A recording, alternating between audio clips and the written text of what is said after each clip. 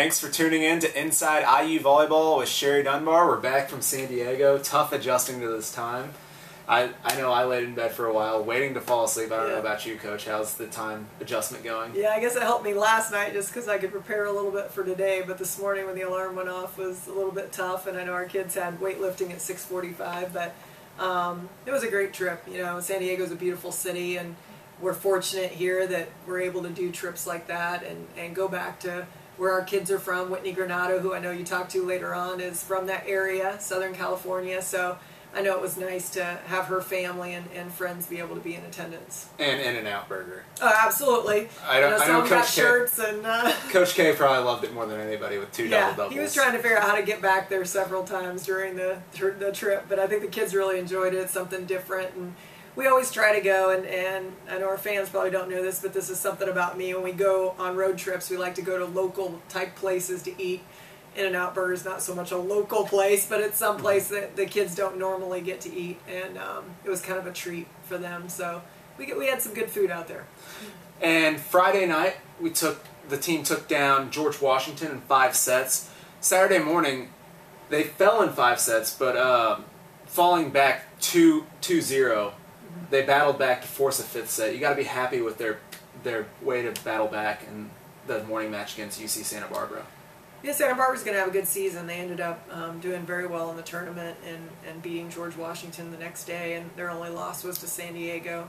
Um, yeah, there was some good and bad all weekend, to be honest. I think it was pretty much a roller coaster, um, and there's a lot we have to get better at right now, and we're going to keep um, working in practice and mentally and physically to step up to this next level. And I thought that's what this tournament was all about: is to understand you know, the level of play, a George Washington that's undefeated, and a San Diego team that's ranked in the top 20, and a Santa Barbara team that is going to have a very good year and is very talented uh, traditionally. Um, so I think it was eye opening in some aspects of it, and we have to learn from that and, and in a short turnaround, you know, open up with Michigan, Michigan State this weekend. And again, one of the bright spots this weekend, Caitlin Cox, eight aces across the weekend, and two two matches of 20 plus digs. Yeah, we've talked about her a lot on the show, and, and deservedly so. I think she's had a great year so far, and I'm very proud of uh, not just how she's playing, but how competitive she is, and and how she's transferring that over to good play uh, at every level. You know, not just this past weekend, but throughout the season so far in preseason. So um, that's a big bright spot right now, is to use that to our advantage and. Uh, use her aggressiveness and hopefully have that transfer over to the rest of the team as we kind of go through this. I think she takes these matches now, starting Big Ten and even this last weekend, as enjoyable challenges. As challenges herself and wants to challenge the team to step up um, to that level. And it's nice to have a libero in that position. I think that's a that's a huge position to have as that passionate player that wants to win. Um, the setter and the libero, I always say, you know, if you can have those two spots that have that drive in them and that leadership, I think, you know, in the front row and the back row, that makes a big difference. And the best team of the tournament that took it all was the host, University of San Diego, ranked 17th in the nation. How does playing a team like that on the road prepare you for Big Ten season? Well, I'm not sure we played well against them, so it's it's hard to say it really prepared us, except for it kind of opened our eyes up to, okay, you know, this is not mid-major anymore. Playing like the last two weekends, and nothing against the teams we played the last two weekends. They fought extremely hard and everything, but the level of the Big Ten, as everyone knows, is the best in the country. And playing San Diego is very similar to that um, because of their physicality, because of their style of play, um, very clean volleyball in system a lot, able to run a lot of double quick type things, a lot of offense against us, but also on the other end, you know, serving aggressive, playing good defense against us, and um, you know, and I told the team I was very disappointed in how we played against San Diego. For short stretches, we competed, but not overall, um, and that's a lesson. I mean, we have to compete every single point in the Big Ten to be able to um, play at a level that's going to get us to the next level, an NCAA tournament, or just playing to the ability of this team. You know, so uh, we got our work cut out for us, and I think we all know that, and we'll be up for the challenge to, to make changes and, and make it better. And while we were in San Diego, I caught up with our own California girl, Whitney Granado, poolside at our hotel. We are here in sunny San Diego, California. About an hour south of Riverside, California, home of Whitney Granado. Whitney, thank you for joining me. No problem. Whitney, there are a lot of stereotypes associated with California. You being a California girl yourself, which one of those stereotypes annoys you the most? Um, probably the one that says, you know, everyone's a LA kind of spoiled brat, and I think that's probably the one. That's not you at all. No.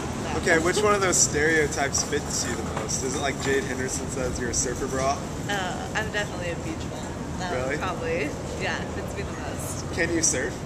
I have before, but I mean, I don't do it every day.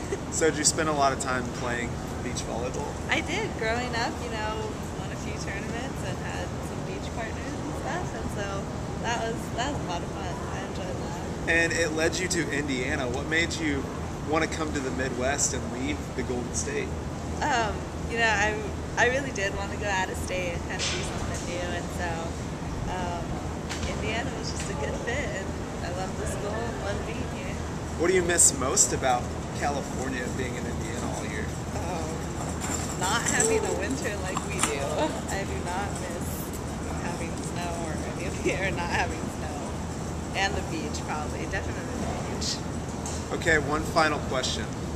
There are two songs out there called California Girls. There's the Beach Boys and then Katy Perry. Which one of those songs fits you the most as the Um, California girl on this IU roster? Probably the Katy Perry song. Why is that? I think it's a little more modern, a little more upbeat. Um, so you like to rock the Daisy Dukes with bikini on top. oh yeah. Thank you so much for joining me, Thanks, Whitney. Cody. Coach, most times when you're recruiting, you, you really hit the Midwest hard, but Whitney's an exception. You went all the way to Riverside, California to pick her up. Yeah, you know, we knew some people uh, in the club that she played for, and Sarah Gustin, my old assistant, um, knew the director uh, of 951 where she played, and so we were out there playing Long Beach a couple of years ago, um, and went and watched her train, and really liked what we saw, and ends up she came on an official visit and absolutely loved it, and that's a that's a great story because you know you talk to recruits so often and you do a lot of kids want to stay within driving distance of home and everything but um, the opportunity to do something totally different for four years and you can always go back home. I think she really took that to heart and absolutely loves bloomington loves indiana um, you know and is experiencing something that she would have never experienced staying on the west coast. The the change of seasons and you know the big time uh, sports with football and everything. Not that they don't have that out there, but it's a different kind of style here. And I think she's really enjoying this experience, and it's nice to see somebody um, take that leap of faith, you know, and go clear across country, knowing your parents will only see you maybe once or twice a year. Um, and she's adjusted very well to that.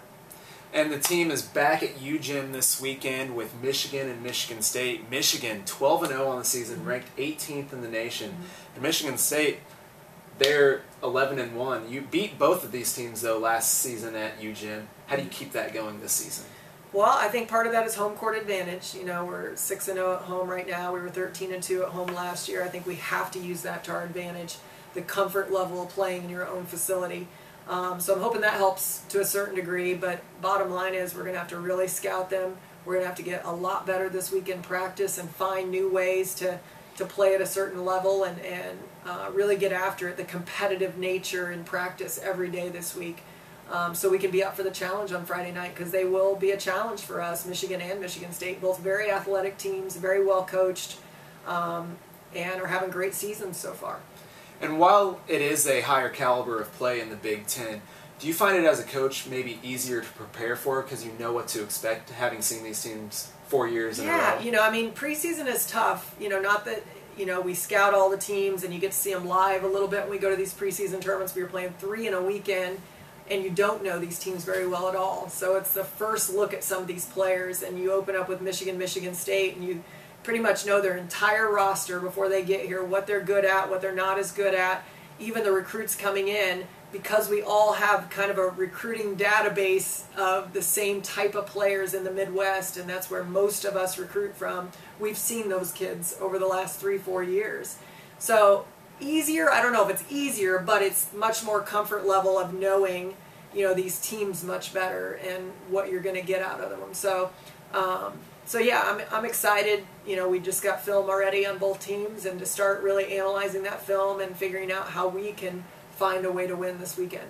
And both of those matches, Friday and Saturday, can be found on btn.com. Eric Roberts and I will have the call on that.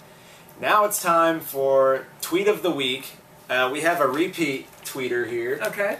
Phi Gamma Slamma, Matt Kachowski. I hope I'm pronouncing that right, Matt. He asks, who gets posters this weekend, Coach? I guess he's going to come I love his posters. I think I know who he is because I think he had a poster about me one weekend, which was fantastic.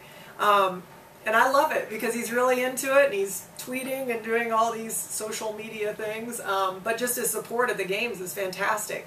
So who should she he do posters about? He could do one about you. I think that would be fantastic. I mean, you know, everybody would get to know you. You'd be a celebrity then.